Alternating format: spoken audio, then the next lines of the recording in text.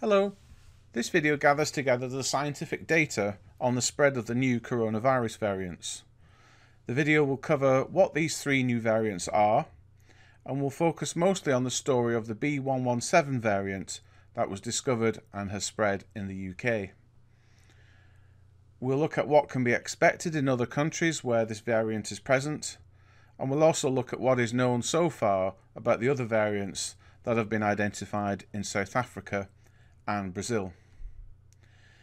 If you're not a scientist, then you should be able to follow this presentation, but you may find things like PCR, the difference between DNA and RNA, how mutations um, in the DNA and RNA can affect proteins and therefore affect the virus might be confusing to you. Um, so I highly recommend that you watch uh, a video we posted recently which explains in simple terms um, the characteristics of the virus, how the PCR tests are run, um, what DNA, RNA are, and how they code for proteins, and how you get mutations. Um, it, it's um, a very useful video for non-scientists. So, what are these three new variants? So, they're called variants of concern because they carry a lot of mutations and those mutations are known to improve the fitness of the coronavirus. The first of these was identified in the United Kingdom, uh, specifically in the southeast of England, and this variant is called B117. Now, for different reasons, there, there are different uh, nomenclature um, used to classify coronaviruses. So it's also called 20I, 501Y version 1, and it's also called Variant of Concern 2020 December number 1. This strain has, unlike other mutations that appear very frequently in the coronavirus all around the world, where you get a small number of mutations over time, this particular variant accumulated a large number of mutations all in one go. And some of those mutations are really known to improve viral fitness, and I'll get into those later. The variant from South Africa is called B1351, and it's also got another name. And it also has a cluster of mutations, particularly in the spike protein of the coronavirus. And some of those mutations, at least this one, overlaps the one found in the UK variant. And finally, most recently, uh, a new variant has been identified in Brazil and it's been given the name P1. And it also has a very large number of mutations in the spike protein, including the two that concern us about the South Africa variant, and one of those overlaps with the UK variant. Other mutations found in these strains showed that they evolved independently in these three different parts of the world. So it's not the same virus that's uh, uh appeared uh, and, and spread to these three countries. These are three different um, incidences of these mutations being acquired by the virus. And the fact that some of these mutations are shared between the virus is an example of uh, convergent evolution. Um, it's very well known that when a virus manages to jump a species, it then spends some time adapting to its new host. So this is entirely expected. The virus is, is adapting and, and finding better ways of infecting and spreading amongst the human population. Most variation of SARS CoV 2 globally has been at a rate of about two amino acid changes per month. So to see such a large number of mutations all in one go is very unusual. And all three variants have probably uh, arose, the theory is that they've um, arose in chronically infected individuals. So these are people who've got COVID and they are not clearing it. So obviously they're still alive, but they may have this infection for very many weeks, maybe a few months. And this allows time for the virus to reinfect that person and so it slowly acquires more and more mutations. And it may well be that the mutations that help the virus to infect cells better allows that virus to escape the immune system in that person. So slowly over time, the virus just gets better at escaping the immune system through infecting cells better, and you end up with these um, new variants. So as I said, we're going to focus mostly on the B117 variant um, that was identified in the UK on the 20th of September 2020. And I'm going to go through all these different things um, in some detail so to help you understand what we know about the strain. So firstly, I'm going to talk about how the UK does its COVID-19 testing um, because one of those tests allows us to look at the spread of this variant. Um, we'll look at that spread across the UK and how quickly it's happened. And then we'll look at the evidence which implies that this variant is more transmissible than previous strains, or in other words, it spreads more quickly than the strains we've been living with throughout 2020. I will then um, discuss why increased transmission rates are so dangerous and are more dangerous than mutations that might make the virus more deadly. Uh, we'll look at evidence that more people do become infected with this variant. Um, so that's very important. It's not just models, it's actual um, real outcomes. And we'll look at evidence that uh, patients with B117 might produce more virus and that might contribute to why it's spreading so much. If people are making more virus, there's a greater chance of them infecting the next person. And then finally, I'll look at the spread of the of this variant beyond the UK. So the UK COVID-19 testing system occurs in four pillars, as it's called. The first pillar is the kind of test that would happen in a hospital, and the tests are done by uh, the UK's uh, free at the point of care National Health Service. Pillar two is community testing, so that's the kind of thing where people get symptoms and they'll call up the doctor, they'll book a test, get a test done, or they've been in close contact with somebody who's recently tested positive and they may go for a uh, go for a test themselves. And that's the vast majority of testing in the UK. All of the tests are, are free. Pillar three are antibody tests, which are much slower tests, and there, are not anywhere near as many of them. And then pillar four is surveillance testing run by a, a part of central government called the Office for National Statistics. And they're doing asymptomatic testing, so testing people who don't have any symptoms seeing what the positivity rate is there, and then by comparing the numbers from their tests with the Pillar 2 tests, they can estimate how many people in the UK are positive for COVID 19 at any one time, and they can do that by age and region. Pillar 2 is a commercial centralized system consisting of local drive in, walk in test sites, um, and swabs are sent away for analysis. Um, to the lighthouse labs that are found around the country. Sorry for the typo there. So the lighthouse labs are found in Glasgow, uh, in Cheshire, Alderley Park, uh, in Milton Keynes. Um, plus, there's lots of other places uh, which are affiliated. So different universities like Birmingham and London universities also contribute to this whole system. Um, and I want to point out these three in particular: Glasgow, Alderley Park, and Milton Keynes because they use um, a particular PCR assay called the TaqPath assay um, in their testing programs. And this shows something called S dropout, which I'm going to explain in a minute. So here we are.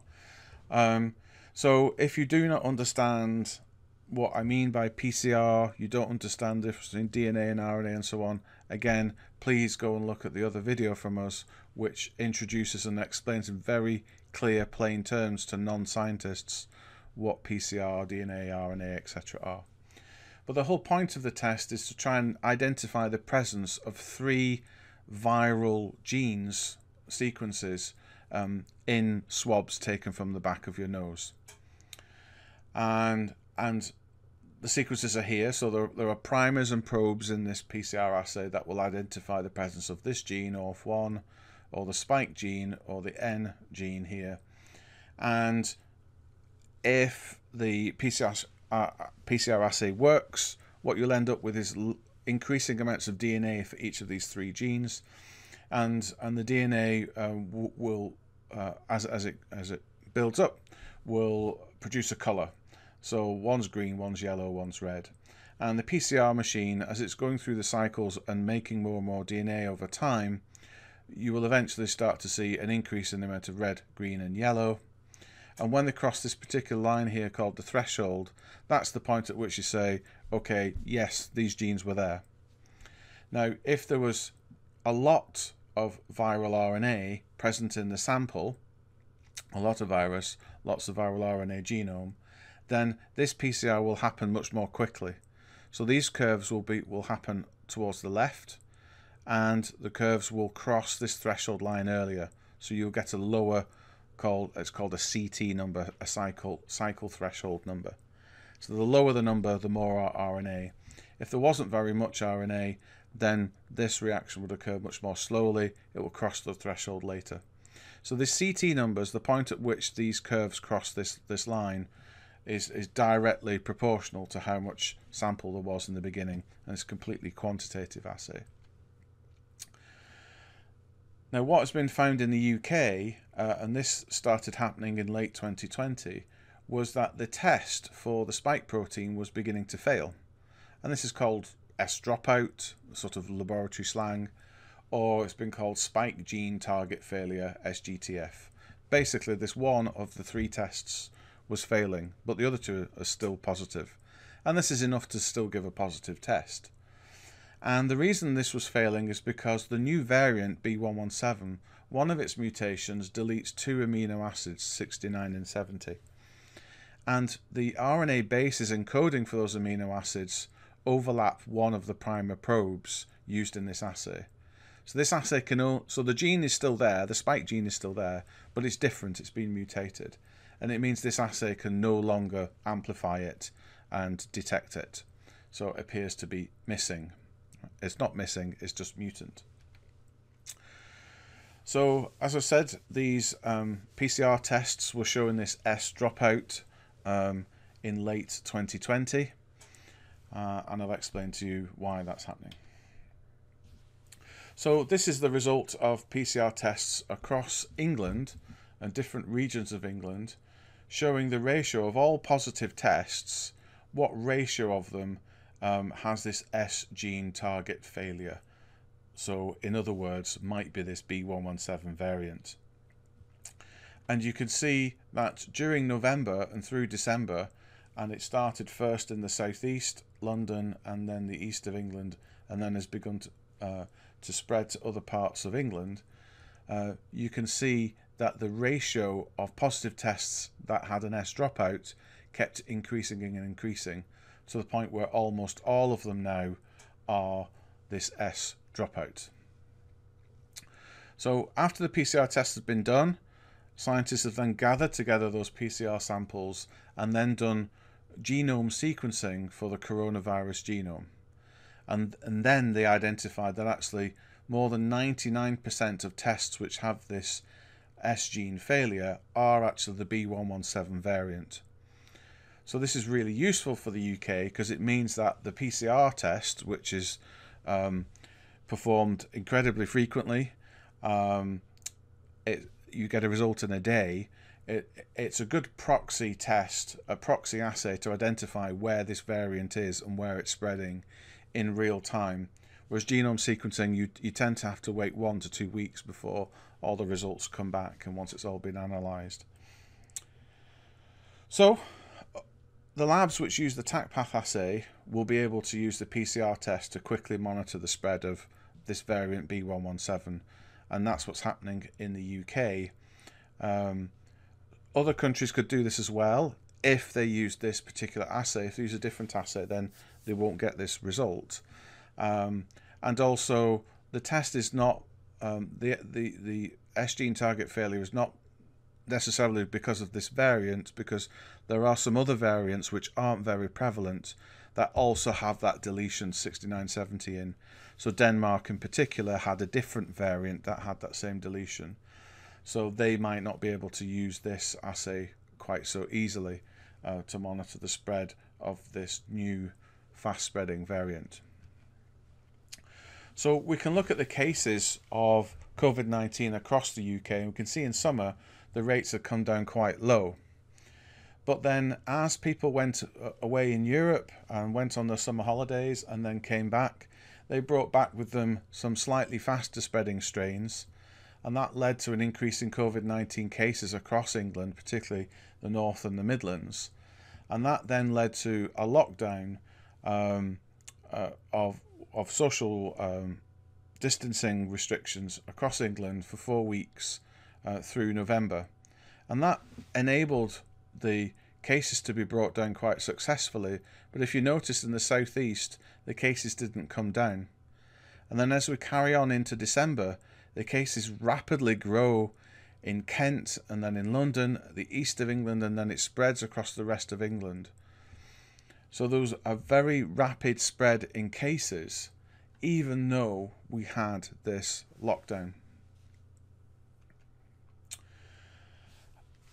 one of the um, details of the data that was seen quite early on was that it seemed to be that children um, and, and school age children in particular um, might be getting infected with this variant more preferentially over any other variant compared to other age groups.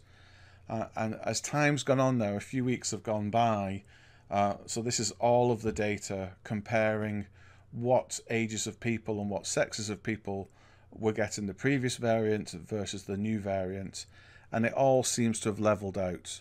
It it does seem that we have the same distribution of COVID nineteen infections across all age groups um, and and the sexes.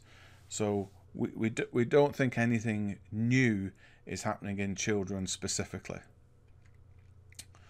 But what is happening is that there um, is an increase in the spread across all regions of the UK. So, so this slide um, looks at how scientists known as epidemiologists look carefully at COVID-19 cases across different populations and look at all the factors that could influence those cases. They use different approaches to understand past spread and project what is most likely to happen in the coming weeks. Um, they've compared the growth in cases of the new B117 variant uh, and the older variants within the same populations, and that's enabled the researchers to control for other factors that can affect the rates of transmission, such as different levels of social distancing. The researchers also tested different mathematical models and used genomic sequencing or PCR data to build their models. Each analysis consistently showed a strong increase in the reproduction number of between 0.4 and 0.7. In other words, the variant does appear to be 40 to 70% um, more transmissible than previous variants in the UK. So just to explain what, what, what we're seeing here, basically these are these points are, are the sort of replication rates of the previous variant or the new variant within the same population of people, but it's been separated out into different data sets. So separated out either by region of England, uh, by the week of the, the data was collected, and then um, also the size of so the colors are the regions, the different symbols are the different weeks, and then the size of the symbols relates to what fraction um, of those cases were the new variant at that time. So you can see that pretty much everything is above this line here. So in other words, this B117 variant is replicating quicker than previous variants. I don't think there can be any doubt about that. There's no doubt that this virus is spreading far more quickly. The, the issue is, is how fast. Um, and you can see that the data sets that where, where there were there was more cases, a higher ratio of the, the, the new variant, then the difference from the previous variant is much greater. Okay, so these mathematical models predict 40 to 70% faster spread of this variant um, across England. So why are more transmissible variants more dangerous than variants which might be more lethal? So this is a, a hypothetical scenario uh, I've got drawn up here, And um, this idea was created by Adam Kucharski, who's an epidemiologist at London School of Hygiene and, and Tropical Medicine. And the idea is that we're starting here with 10,000 cases and we calculate what's going to happen in terms of cases and deaths over time. So with the original variant, we can suggest that the strain that we're currently dealing with, the variant we're currently dealing with, has a death rate of 0.8%. And its infection rate, or, or R rate if you like, is 1.1. So it's increasing by 1.1 every time point here. And this time point might be a week, it, it, it doesn't matter. So cases grow steadily over time and 0.8% of them are leading to deaths. So the deaths gradually increase as the cases gradually increase. If we had a 50% more lethal variant, so mutations somehow led to more deaths in hospitals, so the death rate now goes up to 1.2%, then we simply just double the number of deaths. The number of cases is still the same.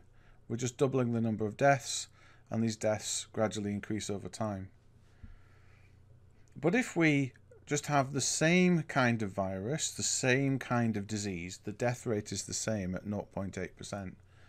But a new variant of the virus is able to infect people more quickly and reproduce through the population more quickly because of this increased transmission rate. So we increase that by 50%, so now the R is 1.65. Then what we end up with is many, many more cases. And from that, we end up with many, many more deaths. So in just a few weeks' time, we've got many more deaths compared to what we had before. And our healthcare system gets inundated as well. So more transmissible variants are the ones to be the most concerned about.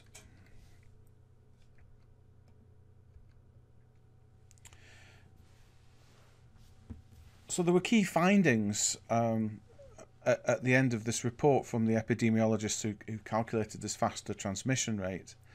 And they pointed out that the majority of the data that they were using was from November 2020, when there was a high level of social distancing in England. There was a lockdown in place. So this, this strain has been able to spread despite a lockdown. So they've concluded that while the strict social distancing measures were sufficient to contain previous coronavirus strains, they're actually insufficient to control the B117 variant, and that's very troubling. So, what did the UK lockdown look like in November 2020? So, many of the viewers will not be from the UK, uh, and, and you'll be wondering uh, how it compares to your own social distancing measures. So, in November 2020, um, all leisure was closed, so pubs and restaurants were closed. Um, takeaways were still permitted. Um, non essential shops uh, and leisure and entertainment venues all closed, so uh, only things like food shopping and, and medicines were open. Uh, and there was no mixing between households indoors, so you couldn't go see your friends and family members who lived in other homes. You couldn't go meet them in private gardens. Uh, and the exceptions were if you were supporting somebody um, elderly or, or unwell. Uh, you were told to stay home and only leave for specific reasons, such as going shopping for food and medicine, uh, or maybe it's education or work that couldn't be done at home. And that was a key thing. Uh, this sort of loose definition of uh, what work um, could be done outside of the home. Um, Importantly, schools, colleges, and universities remained open. Uh, outdoor recreation was encouraged, so you could go for a run and go for a walk, um, and you could meet one person outside of your household, so you could go for a walk with a friend. So there were still opportunities for the virus to jump between households. So we've seen the model, uh, the models, and they project a, a 40 to 70 percent increase in the reproduction of this new variant. Um, so, did this does this lead to more cases? So, the NHS in the UK, and I should make clear that the, the different countries in the UK have um, operate their own health service and have slightly different systems. So this is English data I'm going to refer to here from their test and trace scheme. Um, and this will indicate how the new variant spreads across regions and age groups. So the NHS England test and trace um, contacts people who've tested positive for COVID 19, interviews them, and asks them who they've been in direct contact with and who they've been in close contact with. And then the test and trace team then go to try and contact those people. Um, and it, they may do some testing on them, but uh, certainly they, they, will at least follow the progress um, of those contacts. And so we have data for the fraction of contacts um, of people who tested positive for COVID 19, how many of them go on themselves um, to become positive for COVID 19. And this is something called a secondary attack rate. Um, so, a very aggressive sounding term, attack rate. But what fraction of people who've been in contact with someone who's tested positive get positive themselves? Um, I should point out that everybody in the UK who has COVID 19 symptoms, even before they get a positive result, and certainly after a positive result, are expected to self isolate for 14 days. So, this should greatly reduce this attack rate. So, all of this data and, that you're going to see comes despite the fact of a lockdown and this rule that everybody should be self isolating. Um, so this data is made is made publicly available and it's broken down by UK region, age group, um, whether the whether it's the B117 variant involved in the infections or whether it's a previous variant. So there are 2.4 million confirmed COVID cases in the UK to date, at least when this report came out, and test and trace data is available for almost a million people. So here's this almost a million people, and you can see it's broken down by region, uh, whether contact was direct or close. So direct means you're literally in um, skin skin contact. So these are people you're in a relationship with, parents, children, um, pe- uh, people with their with carers. So people you're within one meter of or in skin contact with. That's a direct contact. Um, a close contact is someone who you've followed the rules and tried to keep um, social distancing uh, from, um, but you've spent a prolonged period of time with them. So there might be somebody you've gone for a walk with or exercised with, um, sat across a table from uh, at a meal or had a coffee with, uh, someone you work with, someone uh, in your in your class at school or college, and then it's broken down by age group as well. So this is what the data looks like for the previous variants, the 2020 variants. So on average, um, across the regions, 11% of contacts of people who were who tested positive went on themselves to get COVID-19 positive. And clearly that rate is highest with direct contacts versus close contacts. There are differences between age groups. So adults on average are about 15% um, attack rate, so 15% of contacts become infected, and the rates in children um, are considerably lower. Um, but what you have to bear in mind is, is it's known that children have um, fewer symptoms than adults. The severity of their illness is, much lower, um, and so they may not know that they're positive, they may be asymptomatic, or their symptoms are so mild that they, they don't say anything and so they don't get tested. So there may be some underreporting going on, or it may well be children are just genuinely less susceptible to infection. So the data with the new B117 variant, so in other words, these are tests where there was this S gene target failure, are quite different. So on average, 15% of contacts now uh, go on to test positive for the new variant. Um, this goes up to 20% amongst adults, but you can see even children, the rates of um, secondary attack increase, the rates of um, contact infection um, increase with this new variant. Um, even if um, you've tried to keep social distancing and you're defined as a close contact, um, this variant is more likely to spread between close contacts. So if we compare the attack rates between the original strains and the new strain, then you can see all of them are up between 30 and 50%.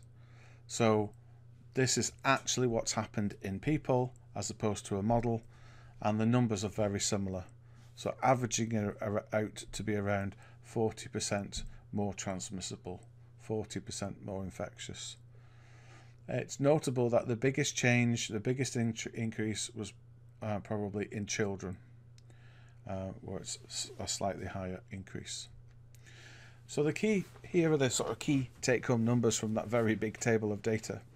So the attack rate of the previous uh, variants was 11% on average across all regions of England, and the regions all seem to behave very similar to each other. And the new variant, the attack rate has gone up to 15%. So 11 versus 15. And then we can compare what's happening in children. So uh, younger children, primary school age children. Before, 1 in 16 children were getting infected if, a, if a contact was positive. That's increased to 1 in 11. For secondary school children, and college age students, it was 1 in 11. That's gone up to 1 in 8 with the new variant. And for adults, it was over 1 in 7, now it's 1 in 5. So overall, there's a 40% increase in the likelihood of getting infected when you've been in contact with somebody who's infected. Okay. So I've pointed out the biggest increase was in the uh, young child age group. Um, and a key point also is that the attack rate in secondary school age children um, with the new variant at 12% is now higher than the overall average of 11% with the previous strains. So children in school are more likely to pass it on now than what adults were with the previous strains. So a lot of people have been questioning whether schools and colleges are safe to open when such a faster spreading virus variant is so prevalent. So this is data from the UK Office for National Statistics, which, uh, as I mentioned earlier, uh, models the percentage of the population testing positive for COVID-19, and they could stratify this by region and by age. So this is their data that I've plotted out. So what we're looking at here with each graph is uh, groups of people who um, uh, groups of the population by age. So either age 2 to 11 years, so these are the primary school years in the UK, or ages 11 to 16, so this is secondary school children. And then we've got young people, so people in college, university, young people at work. And then we've got adults in the 20s through to 30s, uh, going through to the Middle Ages, and then to the elderly. And what we can see, and so to, to, to remind you, the, the UK national lockdown took place during November 2020 and it ended on the 6th of December. So we can see a dip, a downward trend in all of these plots um, at that time that the, the lockdown was having some effect. But following the release of the lockdown, and remember, children were still in school during that lockdown, um, the coronavirus was increasing in primary age children and increasing very quickly in secondary age children. And the increase in secondary age children began before the lockdown finished. And no other group shows that. Younger adults, it was falling at that time older adults, it was falling or flatline at that time.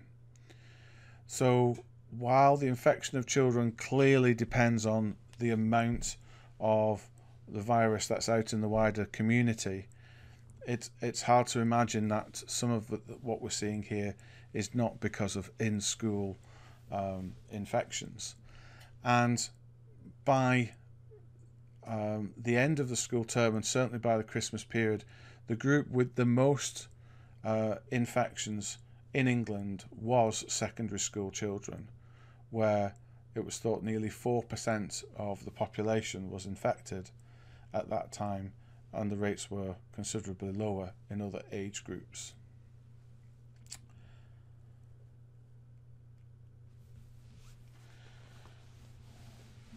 It's important to point out that there's no clear evidence to date yet that the B117 strain spreads faster in children than, than in adults. The the accelerated rate of, of, of spread is just affecting all age groups quite equally. Um, and the increased rate seen in children in December 2020 might relate to infection in the community and or in school settings. And any decision to close schools to control the pandemic should be used as a last resort there's a very good report from the European Centre for Disease Prevention and Control, and it concluded that the negative physical, mental health, and educational impacts caused by proactive school measures on children, uh, particularly more vulnerable children, were very substantial. And this is data collected from across Europe uh, during the lockdowns of March 2020 through to June 2020. Um, I should point out that there are, there are numbers in the corners of each of these slides. These are references you will find in the description to all the sources of information I've used for each of these slides. Um, it's likely that an increase in measures to mitigate the spread of COVID 19 in schools and colleges is likely to be required in countries that have high levels of the B17 or the other um, new, faster spreading strains. Um, these include mass asymptomatic testing, perhaps these fast laminar flow tests, um, self isolation of contacts, of people who've been in contact with somebody who's test positive, increased social distancing, smaller class sizes, staggered timetables, and so on. Um, now, this is a very emotive and, and, complex issue. This is a very difficult decision for uh, for lawmakers uh, to make in the coming weeks and months in different countries around the world facing up to these new faster spreading strains. Um, I recommend you look at the, the Twitter feed of Deepti Gosandi, who's a senior lecturer at Queen Mary University in London, um, who's been uh, really good at trying to explain uh, the data behind um, the spread going on in schools and some of the, the biases in the data sets and the models. And it's, it's quite a, a difficult thing um, to get your head around. So, why is SARS-CoV-2, why is this variant B117 more transmissible than the previous um, coronavirus strains, um, variants? The spike protein mutation N501Y increases its ability to interact with ACE2. So this is something that's known from laboratory experiments. And ACE2 is the main receptor for the virus on human cells.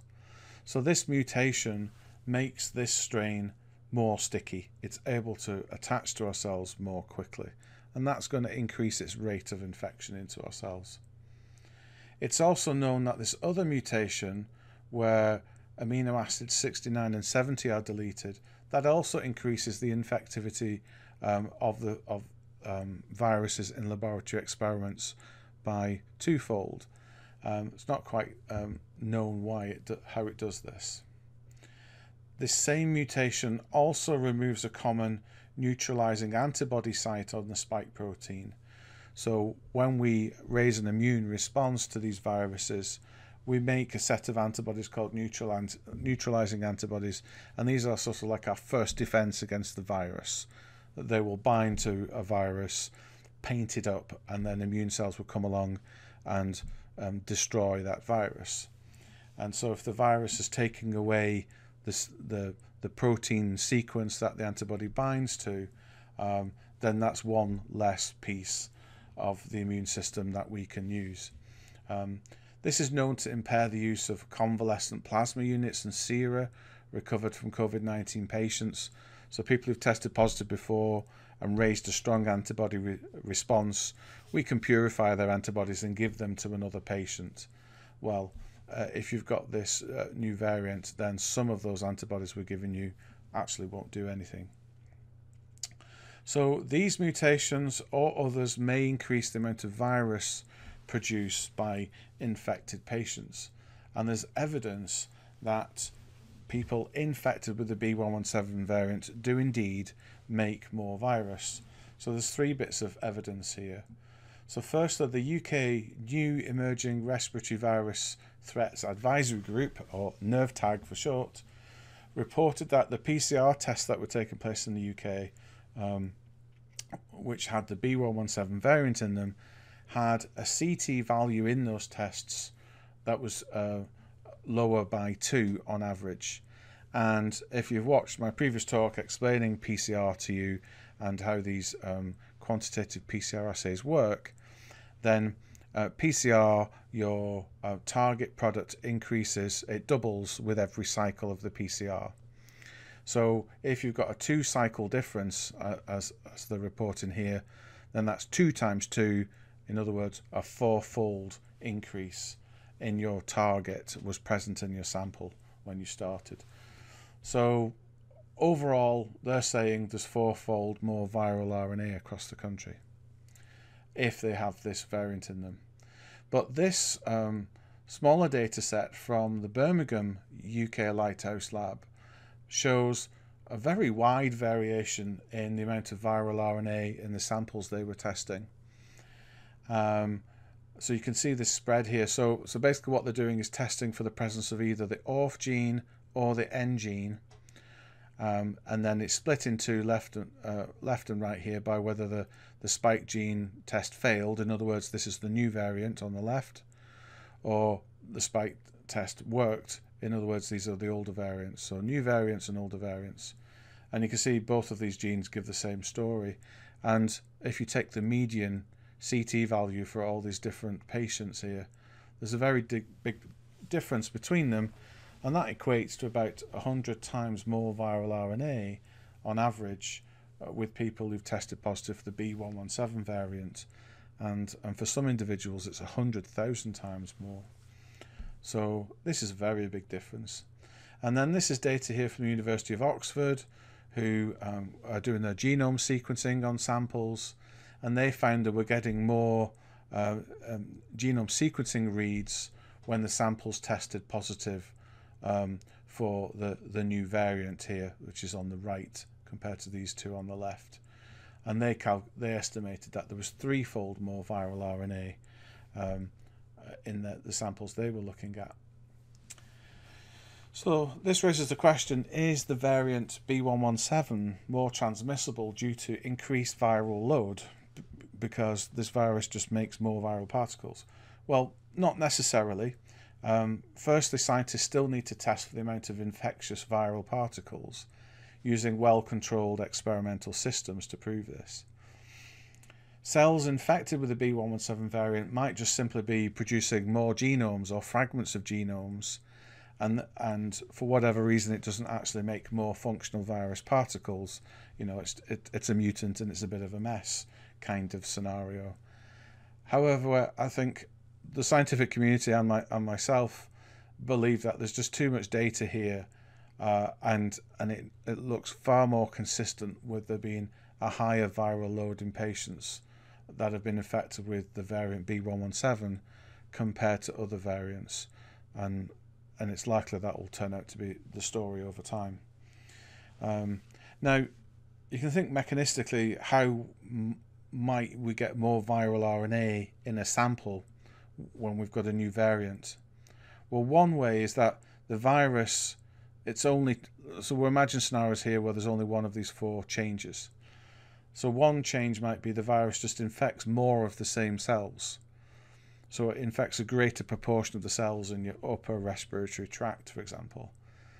If each of those cells produced a certain amount of viral particles, the fact that there are more cells being infected means you are going to expel more viral particles and therefore be more infectious.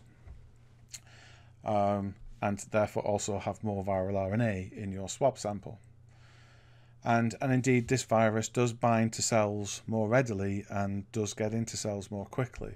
So potentially it does indeed infect more cells. Another way is the virus might infect more types of cells. So this is called tropism. Um, the viruses are optimized to infect certain kinds of cells in your body. You know, they don't infect your skin cells, for example. Um, so if it's infecting more cell types, then again, that, that those cells become more factories for making virus and you end up with more viral RNA. Um, alternatively, is the, there's just a, an improved way of making the viral RNA genome in human cells that's been optimized in some way.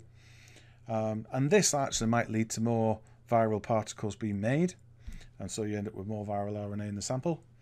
Or alternatively, there are other things about making the virus physically and the, the structure and stability of all the proteins used by the virus has improved with these mutations, and that goes to just make a better quality product per cell. So the number of cells infected is still the same, it's just that those cells now produce more infectious particles because the virus is just a better quality virus now.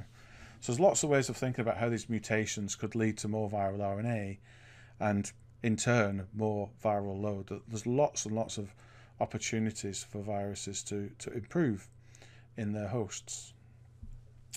So, will other countries also have to deal with the variant B117? Well, the short answer is absolutely yes. So, variant B117 has begun to uh, spread around the globe. Um, I believe 55 countries now have reported the presence of this variant in their testing programs, and 17 countries are, are reporting local transmission. Um, there's an excellent website that compares all the lineages and gives you updates on where they are in the world at the moment. Um, and this is largely built by uh, Anya O'Toole in Edinburgh. Um, so go check out her account on Twitter. And uh, one of the references here points to the, the covlineages.org um, website where this data is taken from. And I've drawn my own map so there are a lot of countries where B117 is now present. It's had enough time um, to get on the plane and accumulate a lot of air miles. Many European countries, Israel and the USA have growing numbers of cases. Um, it's worth pointing out that the rapid spread of B117 in the UK took place about two months after the first cases had been observed. Um, so I've, I've heard some call this the fuse.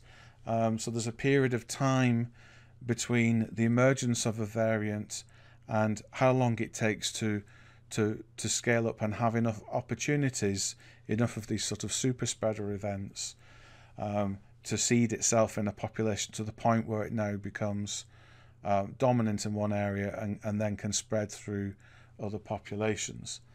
Um, and you know this is a process that's um, not very well understood, uh, and it may well be the length of that fuse is different in different countries, um, based on um, their epidemiology. So things like lockdown measures and restrictions, uh, how dense populations are, how frequent travel is between towns and cities, and so on.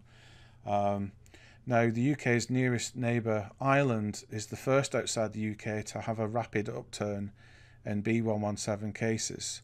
Uh, and unfortunately, this may have been caused by Christmas, where uh, it was legal to have some mixing between households uh, um, to celebrate Christmas. Um, and the Irish Lover party. Um, and unfortunately, Ireland's chief medical officer stated on January 11th, 2021, that the new variant accounted for 45% of tests uh, in that previous week, compared to 25 and 9% in one and two weeks prior to that. So it does like look like B117 has now got a foothold in Ireland, which has quite a large spike in cases at the moment.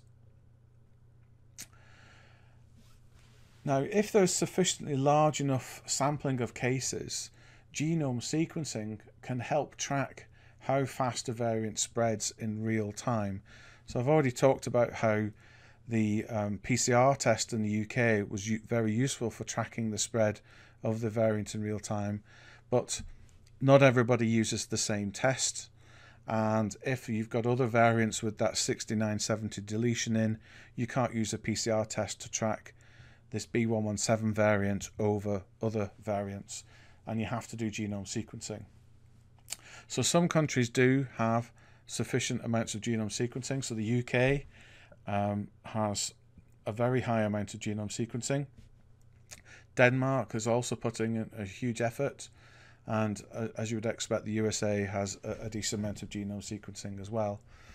So these plots here, so um, all of these images are taken from uh, Trevor Bedford's um, Twitter account. Trevor is a, a, researcher at the Fred Hutch Institute in, in Seattle, and this is a really nice analysis from Trevor here. So I couldn't help but put it in. So um, this is the number of uh, sequencing cases per day uh, in the UK. Denmark releases those those every week, and then cases per day in the USA and I think this is data is just restricted to the six states where the B117 variant is getting a foothold in the USA. So New York, California, Wisconsin, Wyoming, Maryland, and New Mexico.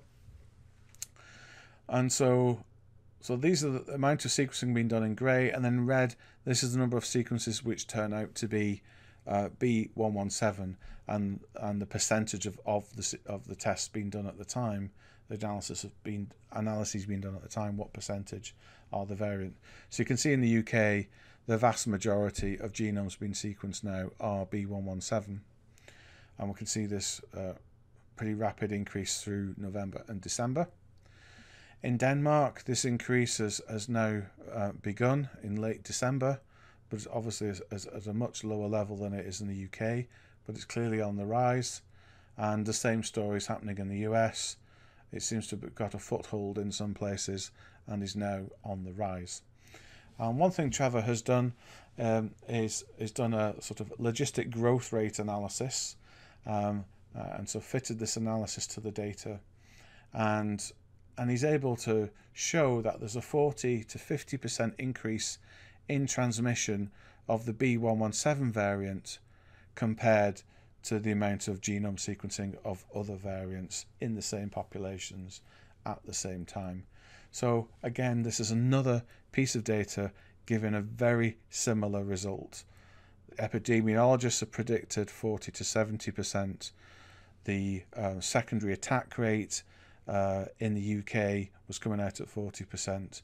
The genome sequencing is saying 40 to 50%, all showing that the B17 uh, strain uh, variant is is spreading through the population more quickly than previous variants and becoming dominant in the case of the UK.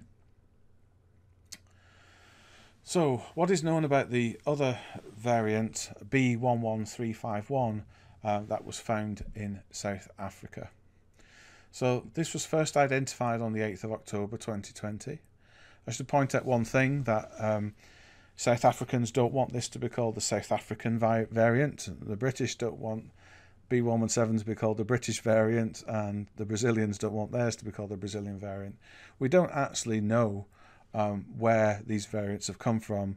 It may well be they've come from another country uh, which doesn't have thorough testing, and they've been imported in, and they just get detected in these countries that have got the genome sequencing.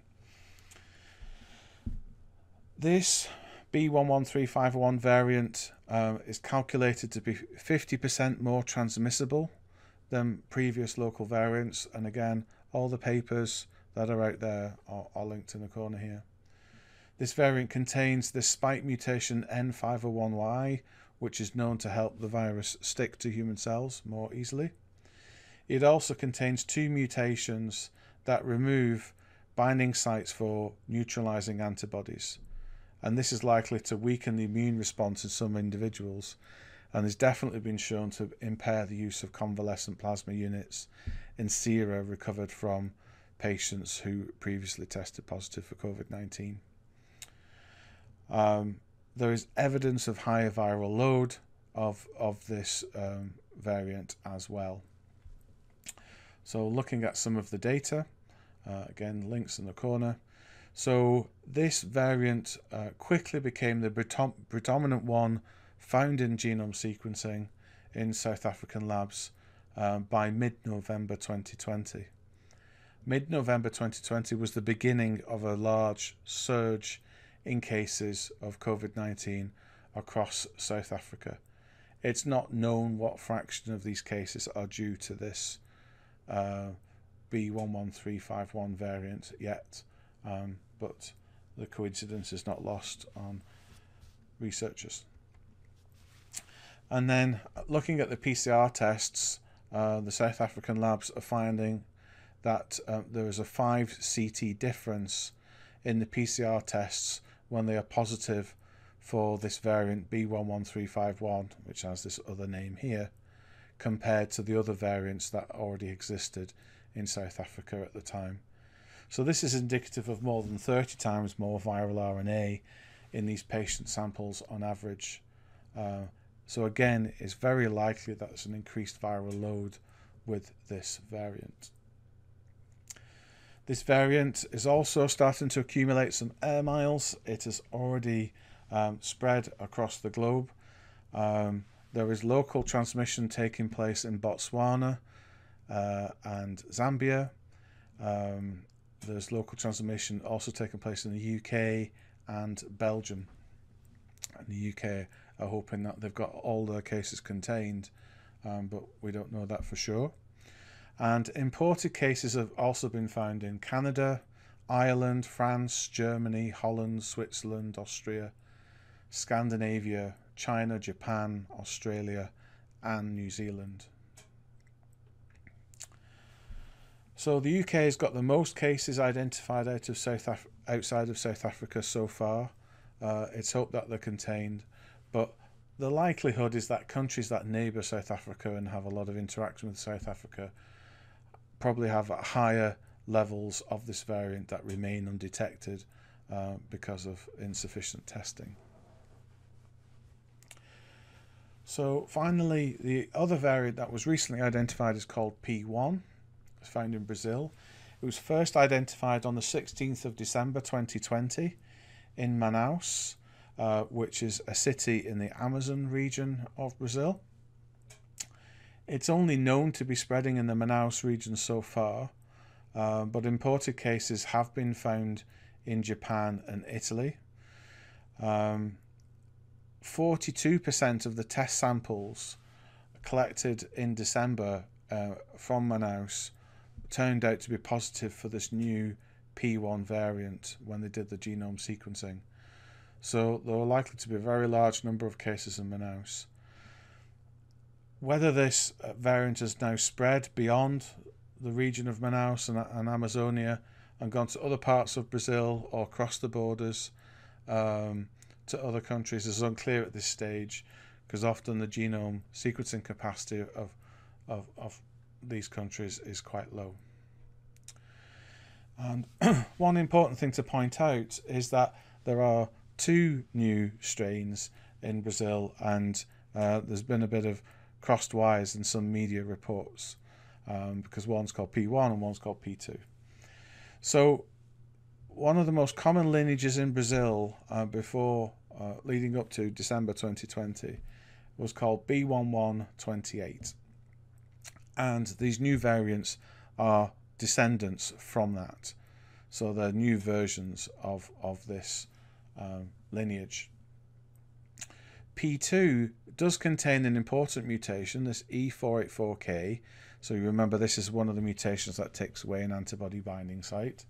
So um, you know it would get some attention anyway but it doesn't have this huge number of mutations this cluster of mutations in the spike protein and other genes that the p1 variant has uh, and quite frankly we're not as worried about the, the p2 variant the p2 variant is more widespread in brazil it's been found in rio de janeiro um, and it has been exported overseas and it's reached the uk and other countries um, but the main concern is with the new highly variant strain P1.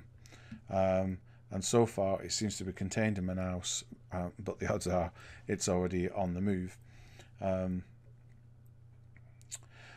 it's worth pointing out that the identification of these new variants in Manaus P1 and P2 um, coincided with a surge in COVID 19 cases in Brazil. The cases have gone ex- extremely high over the last few weeks. Um, so again, we don't know what fraction of this surge in new cases is due to this these new variants. So, in summary, all three of these coronavirus variants of concern contain clusters of mutations of the spike protein in particular. The UK and South African variants have both been characterized by faster transmission rates, escape from some neutralizing antibodies, and higher viral loads. The P1 variant from recently identified in Brazil uh, carries the same key spike mutations as the South African and British variants, and it's likely to behave in a similar way. B117 and B11351 have already begun to spread into other countries. They've left the UK, they've left South Africa, and uh, they are increasing elsewhere. The general consensus across the scientific community is that all existing vaccines are still likely to work against each of these variants, but there is some chance of a reduced protection for some individuals. But it's still believed the vaccine is pretty much going to protect the vast majority of people who get vaccinated. We are looking at more stringent social distancing, improved testing and tracing measures, um, until the vaccine uptake is substantial and has been shown to be effective in any one given region. And that's really what we're looking at for 2021. And I just want to end uh, by saying why genome sequencing is so important to managing this pandemic.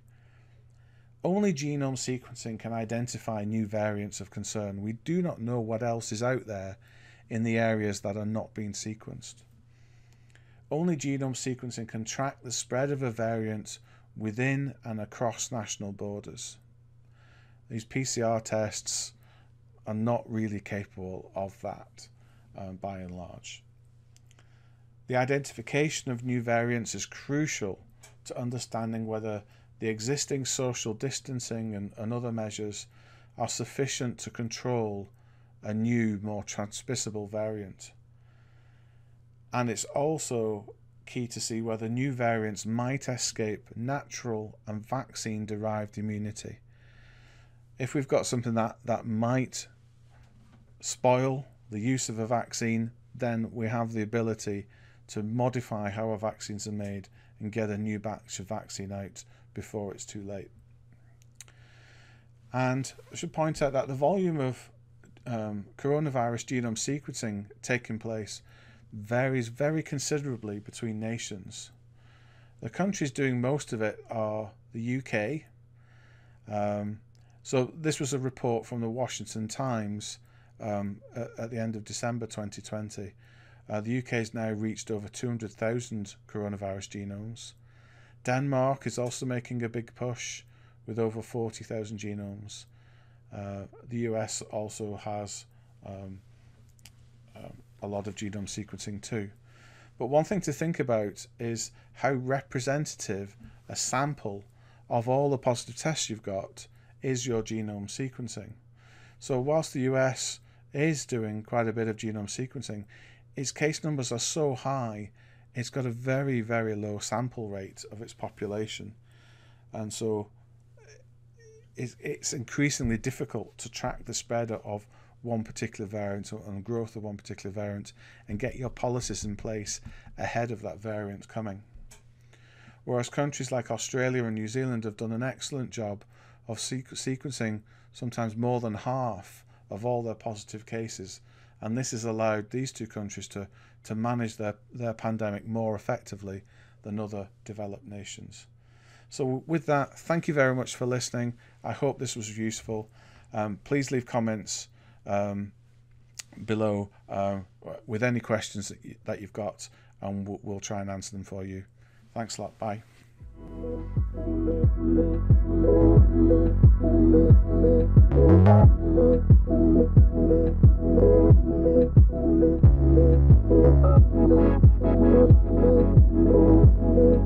Thank